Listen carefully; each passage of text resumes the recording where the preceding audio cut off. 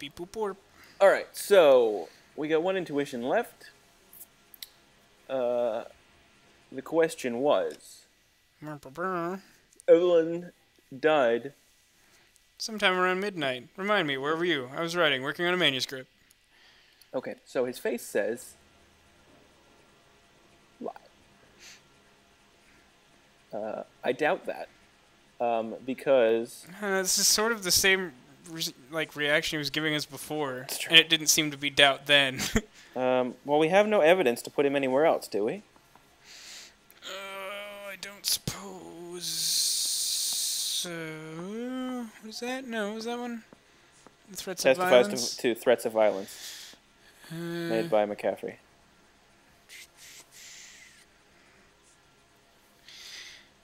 no, that I think that's it. Hmm? Because the other guy said that happened after, like he was so pissed about her having his book that he was like freaking out about it. Right. That must have happened last night. Must it have? I think so.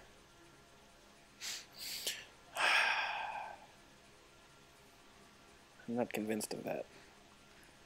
I'm I'm fairly sure, but you know, Do you want to try saying lie and see what where? yeah. I mean, that's probably us? worth a shot. Okay. You're lying, McCaffrey. You were out at the rail yard. And what do you have that proves I was there? At the rail yard. Okay. Do we have? All right. So now, now at least we now we have very clear of what we're looking for. Yeah. Proof he was at the rail yard. Well, uh, we have no way of li- linking the lipstick to him. The handbag. No, because like that other dude found it. Time of there. death is not useful. I mean, Uh, it would be if we had something else to go off of. Yeah. So back out, I guess. Right? Either we've missed a clue and we're missing something, or I mean, it's we've doubt. probably missed three clues. Okay. But still, I mean, I'm gonna go with doubt. all right. Do you disagree? I mean, I don't see anything here. He seems suspicious, but like I said, it seems like he's acting sort of the same way he did I before. made a mistake. Here we go. You're gonna need to do better if you don't want to swing for this. I was having a political meeting in my apartment. Cheese and crackers for the fifth columnist. Some of these people will corroborate your story. Fifth I won't give up names of party members. Good. To your funeral. That seemed correct. How was that wrong? Access to tire iron. We found the lug wrench that Evelyn was battered with in your apartment, and the note from her mother, and your blood-stained clothing. We have you cold, McCaffrey. You think if I could be bothered to murder Evelyn Summers, I would be stupid enough to leave the evidence in my apartment? We've seen it before. Now he's Mm-hmm. staring us down. I want to use the intuition. I feel like this is a really crucial moment. It probably is. I'd still check the notebook first before I would do that. Uh, okay, so uh, victim body shows signs. I feel like probably the best thing we could prove is like motive, if if he's actually guilty off of this. Uh-huh. Because he's sort of saying like, "There's no reason for me to kill her and then do this," but like I don't. All right, let's just try lie and see what he says. Sure. I don't believe you, Grosvenor. The evidence says that you killed her. You can prove that I wanted to kill Evelyn? Ah, I called that much. Good job. Prove that he wanted to kill her. This guy. Threats of violence, yeah. Tiernan is prepared to testify that you threatened Evelyn's life in his presence. Self preservation. That's understandable. Okay, I'll level with you. Tiernan killed Evelyn. What? He came to me for help. I listened to him, and he explained why he did it. Tiernan went to you for help. You expect me to buy that? That's how it went down. I I certainly told him don't he made a terrible that. mistake, but he would be throwing his life away if he went to the cops. I took his things and told him I would dispose of them. But you didn't. Speak to Tiernan. He'll give it up. It's either going to be you or Tiernan, Grosvenor. Make it stick, detective.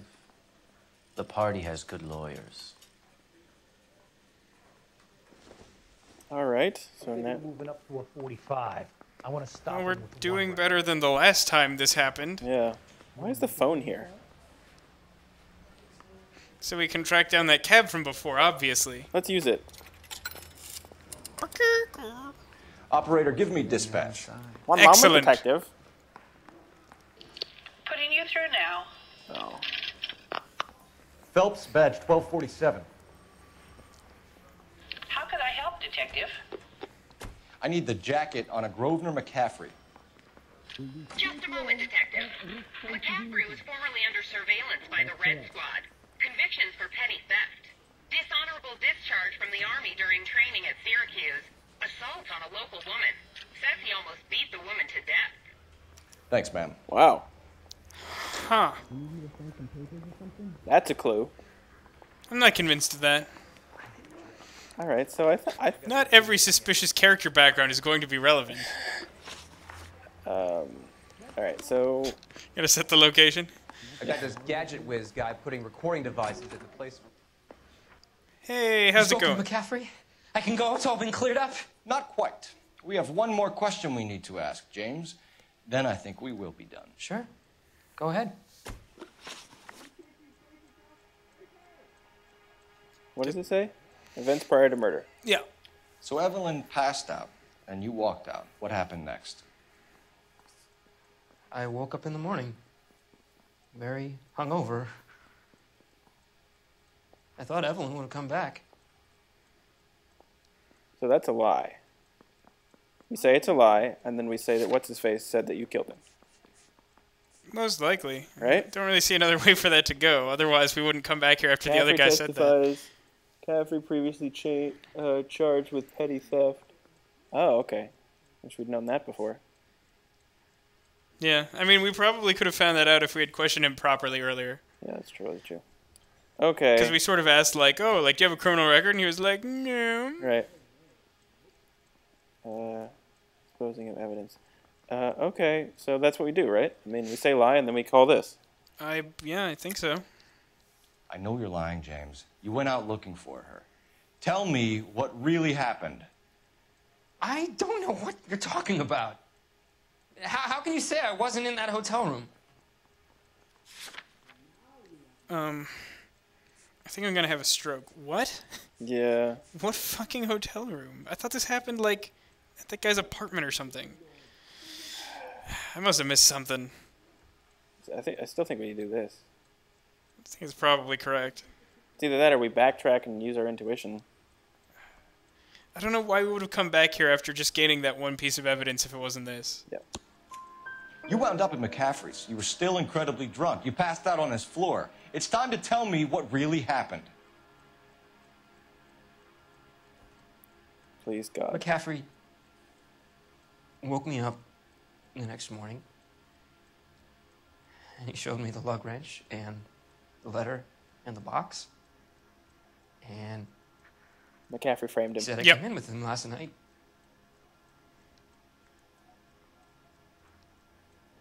He said that I killed Evelyn, McCaffrey framed him. Yep.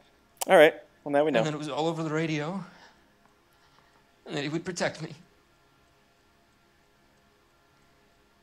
And I don't know, detective, for the life of me, I can't remember a goddamn thing. I was angry with her. Really angry. I could have done it. Oh. It wasn't me.